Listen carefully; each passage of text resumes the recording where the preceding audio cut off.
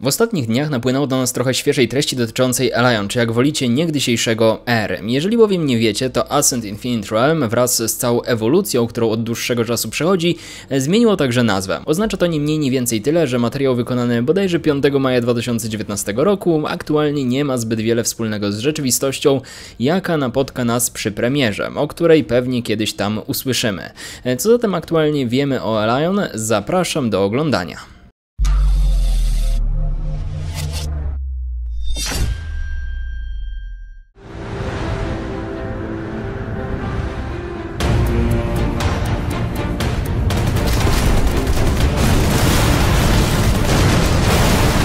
Produkcję R odpowiadało Bluehole Studios, czyli deweloper, dzięki któremu od 2011 roku można cieszyć się Terą Online. Tutaj jednak od początku wspominano o koncepcie zupełnie innym niż w Terze. Same informacje o R spływają do nas z kolei od e, kilku solidnych lat.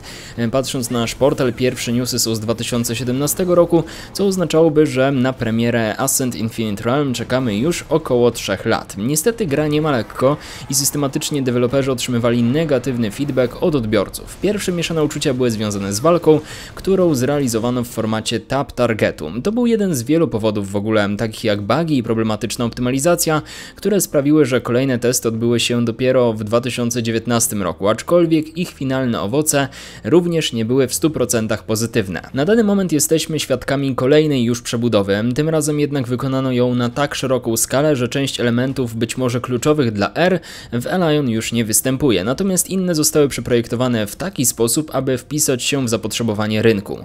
Mam w zasadzie poniekąd wrażenie, że Bluehole Studios gdzieś z tyłu głowy ma nadal porażkę Blessa i usilnie walczy, aby ich dzieło po wyjściu nie powtórzyło powszechnie znanej w topy studia Neois. No więc przejdźmy w ogóle do konkretów. Sama nazwa gry została wyrzucona, jak podkreślają twórcy, ze względu na fundamentalne zmiany w projekcie, które zaszły na przestrzeni ostatnich miesięcy. Tym samym Elion znacznie lepiej oddaje naturę produkcji, aniżeli pierwotny R. Zresztą R jako skrót mógł kojarzyć się z powietrzem, z lataniem, a teraz zaraz Wam o tym wszystkim opowiem. Generalnie oczywiście nie zmienia się jedno, mianowicie świat, a raczej uniwersum, z jakim przyjdzie nam się spotkać, chociaż niektóre czynniki mogą zmienić sposób doświadczenia tego otoczenia. W każdym razie mamy tutaj do czynienia z mieszanką fantazy, no i steampunku w dosyć wysokiej formie. Pośród fantastycznych stworzeń, które przemierzają świat, pojawił się także mechaniczni wrogowie, a na niebie uraczą nas latające ogromne sterowce, a to wszystko usytuowano oczywiście w otwartym świecie, natomiast jego eksploracja eksploracja wygląda już zupełnie inaczej. Przebudowano pod względem graficznym także kreator postaci. Ten nadal rozpoczyna się od wyboru jednej z dwóch frakcji. W nich cztery rasy, ludzie, elfy, orkowie i pluszaste maluchy zwane Ain. I ogólnie tylko właśnie w przypadku tych misiaków na materiałach dostępnych w sieci można zauważyć genderlocka, więc generalnie spory plus. Co do postaci, dostępnych jest 5. Będzie to z dużą dozą prawdopodobieństwa znany już sprzed roku schemat, czyli Warlord, Elementalista, Mistyk, Assassin oraz Gunslinger. Charakteryzacja, o ile Was to interesuje, będzie szalenie rozbudowana, manewrowanie kształtem twarzy, modelowaniem poszczególnych elementów ciała, mnóstwo kolorystyki, wariantów włosów, a nawet głos. Ogólnie później wrócimy jeszcze do samych klas, ponieważ w ich obrębie zaszło kilka zmian tyczących się rozwoju. Najpierw jednak informacja, która dla części z Was może być sporym ciosem i dotyczy ona istotnego aspektu, a tym chwalono się przed laty. Otóż Lion jeszcze jako R kładł duży nacisk na latanie. Zapowiadano mnóstwo funkcji powiązanych poniekąd z podniebnymi atrakcjami, zresztą w odwiedzonych odwiedzanej przeze mnie becie miałem okazję toczyć walki w powietrzu. Pewne sekcje świata, z tego co pamiętam, też wymagały latania. Twórcy jednak w dużej mierze zdecydowali się wyeliminować latanie, a przy okazji również wszelakie bitwy w tej formie. Ogólnie sam jestem gigantycznym fanem wszystkiego, co związane z możliwością latania w grach i o ile taka możliwość jest, no to korzystam z wierzchowców, a dają mi szansę obserwowania świata z góry. Szczęście w nieszczęściu pozostaje takie, że obserwując wiele materiałów natknąłem się na to, że w plecaku bohatera pojawia się nadal lotnia może się zatem okazać, że gliding pozostanie jedyną opcją na sprawne poruszanie się po mapie gdzieś tam powyżej koron drzew. Gigantyczną metamorfozę przeszła sama walka, a ta jak wspomniałem na początku wzbudzała najwięcej wątpliwości. Aktualnie z tap targetu i później pół tap targetu przechodzimy do pełnego non-targetu i action combat. Co jak co, ale uważam, że to świetna decyzja, a oglądając materiały promocyjne tylko utwierdzam się w przekonaniu, że batalie pozostaną niezwykle widowiskowe i w końcu dynamiczne. Nie wiem w ogóle jak z waszej perspektywy, ale z z mojej Terra Online nadal jest jednym z najlepiej zaprojektowanych non-targetów w świadku MMO. Dziwne zatem, że od samego początku twórcy, czyli Bluehole Studios, znając swoje możliwości, no i przy okazji sukces, jakim niewątpliwie Terra była, nie postanowili skierować się właśnie w stronę non-targetu, który przecież tak dobrze im wyszedł. Elion pod względem jakości walki na obecnym etapie, który widać w wielu materiałach, bardzo fajnie meandruje między stonowaniem, którego przykładowo w moim odczuciu w Black Desercie brakuje, a jednocześnie tą efektownością płynącą z użycia każdej umiejętności. Potyczki przestały być statyczne i tą zmianę przyjmuje z otwartymi rękami, pociąga to jednak za sobą również pewną przebudowę w sposobie realizacji samych klas. W aktualnym stanie każda z klas będzie dysponować jasno określoną mniejszą ilością umiejętności. E, te ułożymy na 7 slotach dostępnych w pasku, poza tym dochodzą jeszcze dwa ruchy wykorzystywane przez lewy i prawy przycisk myszy, więc wygląda to jako taki typowy action combat. Nie oznacza to natomiast, że zaburzona zostanie jakaś różnorodność i walka od początku do końca pozostanie jednolita. E, tutaj wkradł się ciekawy pomysł zróżnicowania każdego skilla w oparciu o jeden z kilku dostępnych wariantów. Tym samym każdy z graczy będzie w stanie dopasować preset działania umiejętności e, do walki, do stylu jaki sobie obieram, a także zmieniać go o ile uzna, że pierwotna funkcja nie spełnia jego oczekiwań w 100%.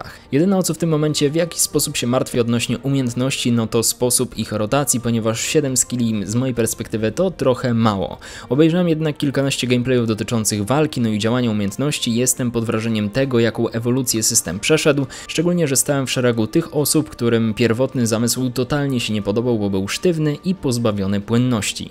Jak w ogóle przystało na azjatyckie MMO, możecie spodziewać się niezbyt wymagającej linii fabularnej, a patrząc na informacje płynące bezpośrednio od producentów, e, strefa endgame'u kładzie raczej znacznie większy nacisk na PvP. Tym samym możecie oczekiwać arenek w formacie 1 na 1, 2 na 2, 3 na 3. E, poza tym Realm vs Realm, tak zwane Open World PvP. Będą też walki wszyscy na wszystkich w ograniczonych składach, bodajże 6 czy 7 graczy, no i przy okazji Battlegroundy. W opisach przewija się również formuła łącząca w sobie dwa tryby, czyli PvE i PvP, co prawdopodobnie dotyczy jakichś walk z endgame'owymi bossami, o których lud będzie można w jakiś sposób powalczyć. Pod tym względem kreuje się zatem całkiem przyjemne spektrum różnego rodzaju możliwości. W przypadku klasycznego spotkania ze środowiskiem natomiast możemy liczyć na crafting wraz z kilkoma profesjami, które można masterować. Poza tym standardowe questy z wykorzystaniem autotrackera, ten jest widoczny na materiałach, będą dungeony, prawdopodobnie będą rajdy, no i wyraźnie zarysowany system housingu, który w tej pierwotnej wersji, czyli R, był dostępny na oddzielnej wyspie. Zobaczymy jak to będzie prezentowało się finalnie w Lion, ale podejrzewam, że z tego systemu jednak nie zrezygnują i cały nasz domek z różnymi obiektami, na których możemy jakieś rzeczy hodować, pozostanie wydzielonym poza grę. Dużą dozą sceptycyzmu można obarczyć silnik graficzny w Lion. Jak wiemy, całość budowana jest na Unreal Engine 3, który nieraz pokazał, że o ile wygląda ślicznie i co do jego prezencji w Lion nie mam zastrzeżeń, to sam w sobie pozostaje problematyczny mówiąc o optymalizacji i to w wersji nazwanej R dałem radę odczuć. Przykładowo taki Bless również borykał się właśnie ze wskazanym silnikiem od samego początku, a Lion stylistycznie bardzo przypomina mi Blessa. Nie jest to jednak żadna ujma, nie bójcie się, Bless był ładny, no i tutaj też wszystko wygląda ładnie, po prostu zastanawiam się jak to wszystko zachowa się w obszernych bataliach, gdzie skille fruwają na lewo i prawo, mamy dostępny action combat, a w centrum będzie stał jeszcze jakiś wielgachny boss. Ostatnią ważną informacją pozostaje też wydawca. Elion trafił pod skrzydła Kakao Games, czyli ludzi odpowiedzialnych za Black Desert. Mogą to być słodko-gorzkie wieści, biorąc pod uwagę, że wiele kontrowersji budzi ten wydawca w odniesieniu do Black Desert. Z drugiej strony w moim odczuciu Kakao ciągle prężnie działa w obrębie swojego sztandarowego podopiecznego, można więc liczyć na to, że Elion o ile wyjdzie, nie zginie marketingowo i powinien całkiem nieźle prosperować w mediach, co przełoży się na popularność wśród graczy. Trudno rozmyślać w tym momencie nad systemem monetyzacji tytułu, aczkolwiek z pewnością można spodziewać się cash shopu, chociaż niewykluczone są także zawirowania wobec modelu free to play versus buy to play. Generalnie jednak po tych wszystkich zmianach ponownie zaświecił mi się płomyczek nadziei związany z Elion. Nadal uważam, że nie będzie to MMO rewolucyjne, ale w formie jaką ogólnie reprezentowano pod postacią R wróżyłem tej grze średnią przyszłość. Teraz może być natomiast całkiem dobrze, a Elion ma szansę stać się takim duchowym następcą Tery. Zobaczymy co z tego wyniknie finalnie, oczywiście trzymam kciuki, wy w komentarzach dajcie znać jak zapatrujecie się na Elion w aktualnej formie. No i to tyle, do usłyszenia w kolejnych nagraniach, na razie.